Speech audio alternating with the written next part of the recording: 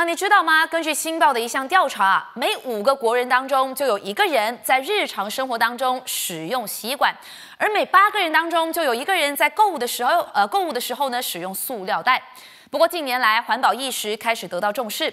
那早前政府除了宣布将会逐步禁止使用塑料的吸管以外，今天联邦直辖区部长卡利沙莫也宣布，从这个月十五号开始啊，在联邦直辖区，也就是在吉隆坡、布城还有纳米呢，全面禁止一次性使用的塑料袋。如果大家真的真的要使用的话呢，就可以付二十三去购买可生物化解的塑料袋。那么消息一出，对吉隆坡一带的商家还有居民，他们又有怎么样的看法呢？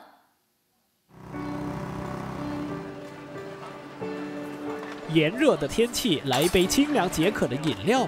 你看，在我们日常生活当中，塑料袋和吸管随处可见。虽然根据调查，国人使用塑料制品的习惯难以马上摒弃，但是记者今天走访吉隆坡磁场街一带，发现大部分的商家和消费者对于联邦直辖区即将落实禁止使用塑料袋和塑料吸管的措施表示赞同。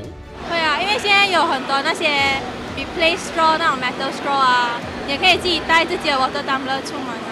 对我自己本身也有 metal straw，也会用 metal straw。生意当然是要做吧，但是在生意做的的的期间，其实政府推推出这样测试的话，我觉得是一个一个方案呐，因为可以呃长期来看的话，其实是很好的。Kita memang nggak bagi lo, pasal ikut kerajaan menteri gitu, kata tak boleh, kita memang tak boleh kasih lo.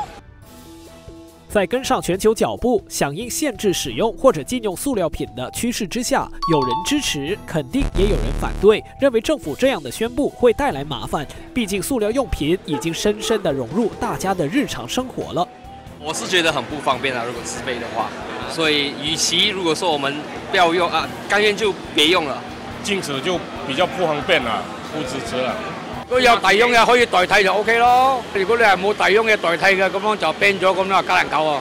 即系我哋做熟食有有好多客仔要包嘅嘢咁样，佢冇嘢代替，咁样我哋做唔到生意咯。咁啊，对我哋会损失啲咯。民众觉得不方便，商家更是担心会影响生意。但是近年来环保意识抬头，政府在这些议题上也做了很好的起步。然而，环保课题不能只是单靠政府单方面推行，人民的环保意识也必须跟着提高才行。从小我们都是打包，在外面直接打包，说现在是要时间去进行这些东西了，要给大家一点时间吧。我是支持的，因为我觉得，呃，环保的东西也不能只靠政府了，就人民也要来配合一下，所以我觉得是 OK 的。是的，政府不断给人民时间适应没有塑料的日子，毕竟大家都知道塑料对环境造成严重的破坏，只有大家的互相配合，我国才能在二零三零年达成零吸管和塑料袋使用的愿景。